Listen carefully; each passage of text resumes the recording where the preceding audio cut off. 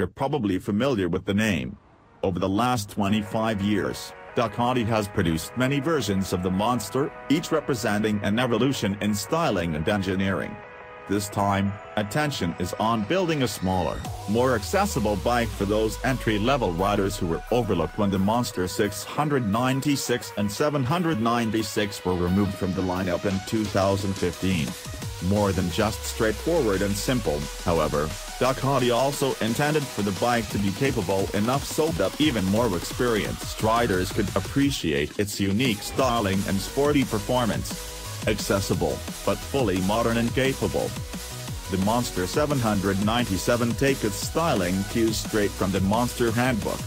A new steel fuel tank and rounded headlight are straight up old school Monster, which by the way, are the same as those used on the most recent Monster 1200.